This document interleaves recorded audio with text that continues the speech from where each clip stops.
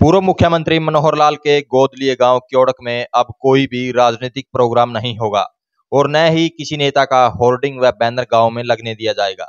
ये हम नहीं कह रहे, बल्कि धरने पर लगे यह बैनर और क्योड़क वासियों का ऐलान है। आपको बता दें कि पिछले दिनों अंतरजातीय विवाह से खपा एक भाई ने अपनी बहन की गोली मारकर हत्या कर दी थी। साथ ही उसकी सास को भी गोली मारी थी। इसके बाद उस युवक ने सोशल मीडिया पर आकर अपना गुना भी कबूल कर लिया था। और पुलिस को सरेंडर कर दिया था। पुलिस ने इस मामले में हमलावर लड़के की माँ को गिरफ़्तार किया हुआ है। ग्रामीणों का कहना है कि रमन यानी हमलावर लड़के की माँ का कोई कसूर नहीं है। ग्रामीण उसी समय से लड़के की माँ की रिहाई के लिए प्रयासरत हैं। सुनवाई न होने से खपा आखिरकार ग्रामीणों ने धरने का फैसला कर लिया है। सुनिए ग्रामीणों ने इस मामले को लेकर क्या कुछ कहा। क्या नाम है? अपना जी सोनू है जी। सोनू चौड़क से। हाँ जी हाँ जी। तो आप लोग धरने पर बैठे हो बैनर आपने लगा दिए किसी भी नेता की गाँव में नो एंट्री है कोई राजनीतिक प्रोग्राम नहीं होना चाहिए। क्या कारण? कारण तो ये है जी हमारे गाँव में एक आज सौ एक लड़का है रमन उसकी माँ को गिरफ़्तार किया गया बिना किसी कारण के। हम्म। लड़के ने अपनी गिरफ्तारी दे दी थी जो भी हुआ था उसके बाद। लेकिन माँ का कोई कसूर नहीं है और 45 दिन से उसको जेल में रखा गया है हम्म। बिना किसी कारण के। इसी का विरोध है जी बस। अच्छा। बस जब हाँ। हमने बार बार अपील की है भी माँ का कोई दोष नहीं है इसको बाहर निकालो। लेकिन पुलिस प्रशासन अपनी मनमानी कर रहा है जी। बस उसी का विरोध है जी अब। माँ के पक्ष में बेटे के कोई पक्ष में बेटे के कोई पक्ष में नहीं चलो जो हुआ पुलिस प्रशासन अपने हिसाब से कार्य करेगा लेकिन माँ को छोड़ दो। हमारी तो यही मांग है पूरे गाँव की मांग है। और इतना रोष है कि अब ना तो कोई नेता किसी नेता का प्रोग्राम होगा और ना ही कोई बैनर लगेगा किसी भी पार्टी का। तो आप लोगों ने धरना शुरू कर दिया। हाँ जी बिल्कुल। और धरना भी बिना निश्चित समय के अभी तब तक चलेगा जब तक हमारी मांगे नहीं पूरी होंगी। आप बताइए पूरा मामला बता दीजिए देखिए ये लगभग एक डेढ़ महीने पहले घटना हुई थी कैथल में। हमारे गाँव का एक लड़का और उसने अपनी बहन की जो हत्या का मामला उसके ऊपर दर्ज हुआ था। उस लड़के ने हाँ, हाँ अंतर्जातीय विवाह का मामला था और लड़के ने सरेंडर भी कर दिया था और सारी ज़िम्मेदारी अपने ऊपर ले ली थी। लेकिन उसके तुरंत बाद मतलब पुलिस ने दबाव में, मैं तो ये कहता हूँ, एक, अपने आप लीपा पोती करने के लिए, बिल्कुल एक घंटे, दो घंटे का समय नहीं दिया और उसकी माँ को भी गिरफ़्तार कर लिया। देखिए, मैं एक चीज़ कहना चाहूँगा, इस दुनिया में जो कानून बनते हैं, वो कॉमन सेंस के आधार पर बनते हैं। अगर हम किसी रिश्ते की बात करें तो माँ वो होती है जिसके, जिसकी ममता पर और जिसके प्यार पर कोई सवाल नहीं उठा सकता। क्या एक माँ सबसे ज़्यादा दुख उस लड़की के मरने का अगर किसी को हुआ होगा तो उसकी माँ को हुआ होगा। वो ना मीडिया को ना पुलिस को ना सरकार को उतना हुआ होगा जितना उसकी माँ को हुआ। पहला तो दुख उसकी माँ के साथ ही है। दूसरा उस लड़की को मारने का जो आरोप जिसके ऊपर है वो उसके खुद उस जो उस माँ के इकलौते बेटे पर। आप समझिए क्या कोई माँ इकलो इकलौते बेटे को कह सकती है जो अपनी बहन को मार दो? मतलब वो बिल्कुल बेगुना मतलब वो पहले से दुखी थी और पुलिस ने अपने दबाव को हटाने के लिए उसको बिना कारण गिरफ़्तार कर लिया। मैं तो कहता हूँ, अत्याचार किया है पुलिस ने और इसमें मैं सरकार की भी हिस्सेदारी मानता हूँ। सरकार भी जिन सामाजिक नियमों को लेकर बात करती है, जिसे हिंदुत्व को लेकर बात करती है, वो समाज में नियम कुछ और और कानून कुछ और है।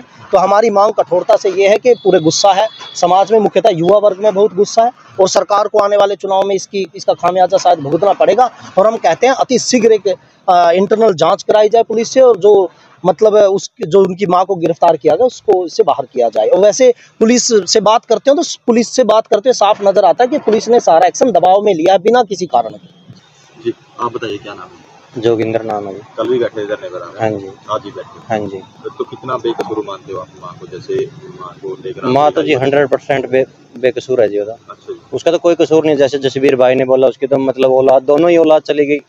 एक तो वैसे चली गई और एक दूसरी मतलब अंदर पड़ी है। हम्म। माँ तो वैसे ही मतलब इतनी मतलब खुद को मतलब यही मान लो तो पहले से ही मरम हुआ मान रही है अपने आप को। ऊपर से उसके ऊपर इतने बुरे बुरे इल्ज़ाम लगा दिए भाई उसने अपने बेटे को ये बोला वो बोला और एकदम से मान लो दो घंटे के अंदर ही उसको अरेस्ट करके ले गई पुलिस। हम्म। ऐसी कौन सी आपत्ति पुलिस के ऊपर की भाई उसकी माँ के पास उसकी माँ के ऊपर या तो पहले से भी कहीं केस चल रहे हो या कुछ भी हो रहा हम्म। एकदम से मतलब दो घंटे के अंदर ही कौन सा दबाव आ गया इनके ऊपर प्रशासन के ऊपर। मतलब अपने ऊपर से इन्होंने मतलब ये अपनी तरफ़ से कर दिया भाई हमने अरेस्ट कर लिया उसको। हम्म। ये नहीं देखा कि वो बेकसूर है। हम्म। उसका क्या कसूर था? वो अपने घर पे बैठी वहाँ। हम्म। तो हमारा तो यही कहना है जी उसकी माँ को रिहा करो। जब तक उसकी माँ रिहा नहीं होगी हम यहीं पे प्रदर्शन पे बैठे रहेंगे। अब तो ये ठीक है जी छोटा प्रदर्शन है। हम बड़ा भी प्रदर्शन करेंगे इसके बाद। और इसका खामियाजा सरकार को भुगतना पड़ेगा। आपके गाँव के सरपंच या बड़े नेता भी जैसे एस पी से भी मिले और अधिकारियों से भी मिले ऊपर भी राजनेताओं से बात की लेकिन समस्या वही की वही। पता नहीं जी पता नहीं ये सरकार या तो इस गाँव को या मान लो युवा वर्ग को हल्के में ले रही है भैया या अपना मतलब कुछ ऐसा कर रही है भाई इनके ऊपर दबाव प्रशासन के ऊपर तो उनका चलता नहीं मतलब गाँव के ऊपर ही चलाना चाहते हैं कुछ। तो मैं तो ये कहता हूँ कोई भी राजनीति पार्टी है जो हमारा साथ देगी हमारे साथ खड़ी रहेगी तब तो ठीक है। नहीं तो हम हर एक सरकार के खिलाफ जाना चाहते हैं। तो कोई भी पार्टी हो हमारे गाँव में ना तो कोई बैनर लगाएगी और जो मतलब कार्यक्रम का प्रोग्राम है वो तो हम होने होने नहीं देंगे जब तक हमारी तो जो ये धरने पर बैठे हो ये परिवार का निर्णय है पूरे गाँव का निर्णय? पूरे गाँव का निर्णय है जी। पूरे गाँव का पूरे समाज का छत्तीस बिरादरी का यही निर्णय है जी। बुप्पी है? तो आप बताइए जिस जिस तरह देखिए- गाँव धरने पर बैठ गया है। एक माँ की रिहाई को लेकर देखिए जो बातें थी इस केस को लेकर वो तो जसवीर भाई ने और जोगिंदर ने पूरी बता दी।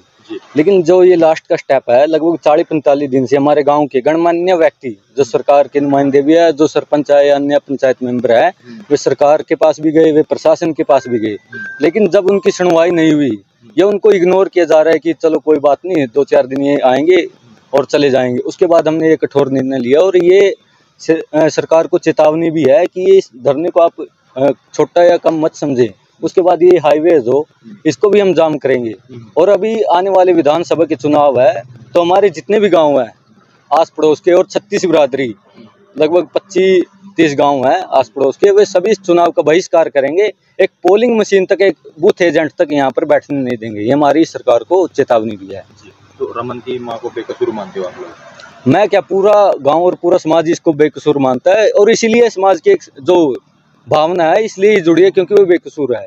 हमने कभी जिसने ये किया है उसका तो हमने कभी पक्ष भी नहीं लिया है। एक बेकसूर को पैंतालीस दिन से गिरफ़्तार करना बिना किसी जाँच के बिना किसी उसके इन्वॉल्वमेंट के उसका तो कसूर बस यही है कि उसने उनने इन औलादों को जन्म दिया है। उसके अलावा उसको कोई कसूर नहीं है।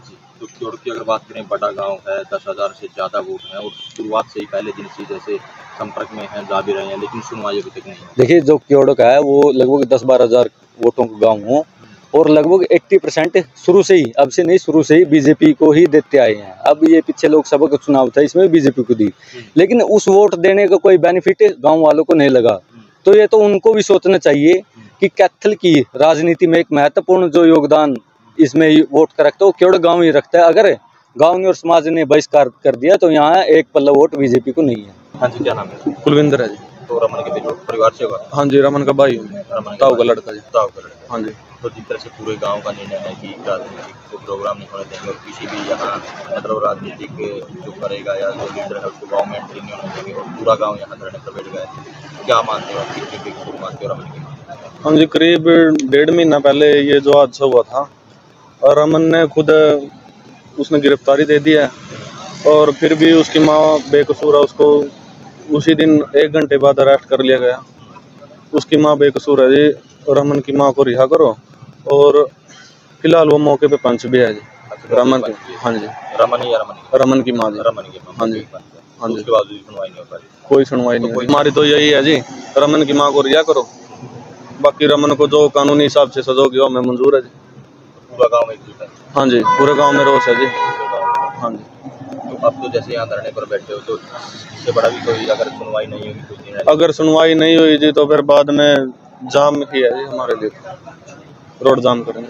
आप बताइए क्या नाम है? परवीन है जी मेरा। परवीन जी आप बताइए क्या कुछ कहना चाहोगे? आप एक जैसे इन्होंने बताया कि रमन की माँ तो पुलिस ने किस तथ्य के आधार पर किस आरोपों के आधार पर पता क्या है जी? तथ्य कुछ नहीं है। एक बात सोचो किसी ने क्राइम कर दिया और उसने मैन लिया भाई मैंने क्राइम करया अब अगर उसमें इन्वॉल्वमेंट किसी और की पुलिस लग रही है करनी तो सीधा सीधा नहीं लग रहा जान में खाम खाई कर रहे हैं। या तो उन्हें कुछ लालच है या फिर किसी का दबाव में क्या ऐसा काम कर रहे हैं। लेकिन ये इतना बड़ा गाँव और आसपास में जो ये रोष है नहीं ये इस करके है क्योंकि वह निर्दोष है। और एक बात और सोचो इस टाइम हमारी पंचायत में वह मौका की पंच है जो इन्हें पकड़ रखी है पुलिस वाले ने। और वह हर एक कार्रवाई में प्रेजेंट है और बहुत ही मतलब ईमानदार हैं और बहुत शरीफ है। अमिता जी। अमिता। जी। तो मेरा तो बस यही भाव है जी जो सरकार भी इसमें कड़ी ना कड़ी माना विफलसियो दिख रही है। अगर सरकार चाव है तो प्रशासन तक कह सके भाई साफ़ सी- सुविधा देखो अगर उसने कबूल कर लिया भाई उसने भीतर ले जो कुछ भी करो वाह देखो कानूनी कार्रवाई है करो अपनी। लेकिन जो निर्दोष है उसने कम से कम छोड़ दो। सिर्फ़ इतना है और शांतिपूर्वक ही धरना रहेगा अनिश्चितकालीन?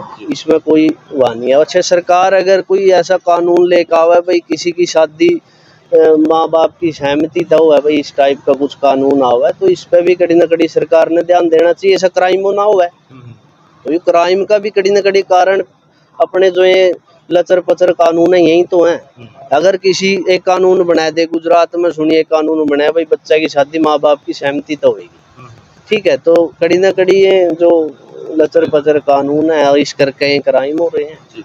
तो बस यही है जी माना तो उसकी माँ के लिए बैठे हैं भाई उसमें रिया करो। जी तो जैसे मानते हो कि यहाँ सुनवाई नहीं हो पाई आप लोगों की? जी, जी। तो ऊपर लेवल पर सीएम से या किसी से मिलने की कोशिश की? देखो जी सीएम तभी और जितने भी इस टाइम सरकारी अमला है सब पे जाया जा रहा है लेकिन कड़ी तक कोई रिस्पॉन्स नहीं आ रहा। अच्छा रिस्पॉन्स नहीं मिल रहा। ठीक है चलो नहीं तो कहते हैं भाई यहाँ कोई बात नहीं भाई देखांगे करांगे। लेकिन माना तो कड़ी कोई रिज़ल्ट नहीं मिल रहा। कोई ना कोई तथ्य तो पुलिस के पास भी होगा। देखो तथ्य सिर्फ़ वही इतना कह रहे हैं भैया इसकी माँ। आप हैं अगर आपका किसी बच्चा ने क्राइम कर दिया इसका मतलब आप आप आप कसूरवार हो गए।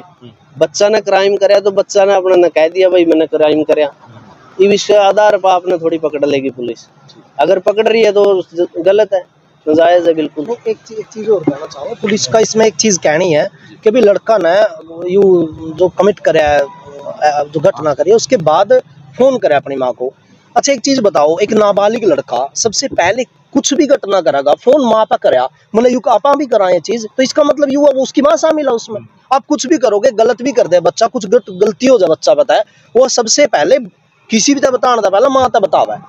मतलब अगर उसमें तो कोई चीज़ टूट गई तो माँ तक बतावा जाएगा इतना बड़ा घटना कर दी उसने उसने कहा मतलब मेरी बहन का गोली मार दी। तो वो किस तक बतावागा? गाँव में गली तक किसी तक नहीं, उस सरेंडर करने जा रहा पुलिस में। लोग ने अपनी माँ पे ही बतावागा तो इसका मतलब माँ शामिल होगी। और कॉमन सेंस है, इकलौता बेटा ना कौन सी माँ दुनिया की भाई अपनी बहन ना मार दे। ये तो कॉमन सेंस कोर्ट का भी, सबका भी समझ में आनी चाहिए। कोई भी नहीं कहेगी मानू कहेगी, बेटी तो चली गई, बेटा ने क्यों बर्बाद करेंगे? मेरा कहने का मतलब उसने खुद एक्सेप्ट कर ली थी जज दूसरी जो इस इस सारी घटना में सबसे दुखी कोई इंसान है तो वो माँ है। और इस व्यवस्था के कारण उसकी माँ और ज़्यादा पीड़ित करी जा रही है। ये पाप है हमारी नज़र में तो ये पाप है। एक दिन भोगना पड़ेगा इस सरकार को। हाँ क्या नाम है? रवि नाम है जी। जी क्या कहोगे? कैसे पूरा गाँव मैं तो जी एक को बात कहूँगा पुलिस प्रशासन तय और आप सरकार तक हमारी आवाज़ पहुंचाओ कि ये मतलब शांति प्रिय जो धरना है नहीं यू अनिश्चित काल तक शांति प्रिय नहीं रहेगा। ये कब अशांति प्रिय हो जाएगा हमें भी नहीं पता। हमको ये पता है भी जो हमारे युवा साथी हैं, हमने उनको कैसे रोक रखा है, वो हमें पता है। हम सरकार तक और कानून तक ये जल्द से जल्द मतलब जो हमारे साथ नाइंसाफी हो रही है नी, इसके मतलब इसका समाधान जल्दी करो। अगर नहीं जल्दी होया तो उसके बाद मतलब क्या ये एक छोटी चिंगारी है, कब भयंकर आग का रूप ले लेगी, हमें भी नहीं पता। ये कोई छोटी बात नहीं है, अभी एक माँ को मतलब अरेस्ट कर, भाई, जो उसने, भाई ने मतलब स्टेप उठाया उन्हें जो भी या कुछ भी उससे गुनाह होया उसकी उसको सजा दो। हमें उसे कोई वो नहीं है अभी हमदर्दी है। भी हम उसके साथ ये कह रहे हैं उसको रिहा करो। उसको नहीं उसकी माँ को रिहा करो। उसकी क्या गलती है? अगर माँ ने मतलब अपनी बेटी को भी खो दिया और अपने बेटे को भी खो दिया उसको हमारी मतलब इस समय सारी की ज़रूरत थी और वहाँ पत्थरों में सिर मार रही है वो। तो ये तो कानून की और सरकार की सबसे बड़ी गलती है जी। और इसका जल्द से जल्द समाधान किया जाए। अगर नहीं समाधान हुआ तो जो भी आगे कार्रवाई होगी उसके मैं खुद जिम्मेवार होंगे। संदीप कुमार। संदीप कुमार हाँ। आप क्या कहोगे? मम तो यही कहना चाहा भाई साहब हमारे ने सारे भाई ने जसवीर ने बोपी ने सारा कुछ बता दिया आप तक आप और सरकार ये ना सोचो भाई हम यहाँ क्योड़क क्योड़क के बैठे हैं। हमारे पर तो ये हमारे जितने गुआंड है जितने भी सरपंच है ये नहीं है भी गुजर बिरादरी। जाटो का भी गाँव है, बलवंती, वहाँ से भी बार बार फ़ोन। हमारे पास हर एक गाँव के फ़ोन आ रहे हैं, भी छत्तीस बिरादरी हमारा साथ खड़ी है। तो हम तो यही चाह भी जितना जल्दी हो सके जी, माता जी ने छोड़ो, उसका तो कोई खोट को नहीं है जी। उन्हें तो बस एक खोट यू ही अभी उन्हें पैदा कर रखी है। और उसके ऊपर के एक होट है उसका। ये अपना बच्चा का बदल तो कभी है जी, कौन नहीं कहना लड़की जाए जी, उसका बदल तो कभी अभी मरता मर गई, कुछ भी है। तो हम तो यही कहना चाहे जिसका बहुत तकड़ा हुआ। रही बात पुलिस प्रशासन की जी कलमा मूरा लगान लग रहे थे या तैयारी कर रहे हैं, जब भी पुलिस है इंचार्ज साहब है कनु कह रहे हैं भाई धारा गलत है, उरा लगाना। मैं वे भी प्रेशर है कल है उन्हें पाँच चक्कर लगा लिए उरा का भी था मुरा गलत बैठे है का तो ये भी गलत बैठे है जी, गलत तो जद होगा नहीं जी उन्हें भी दिख जाएगा और सरकार ने भी दिख जाएगा जी। ये रोड नहीं खुलागा जी।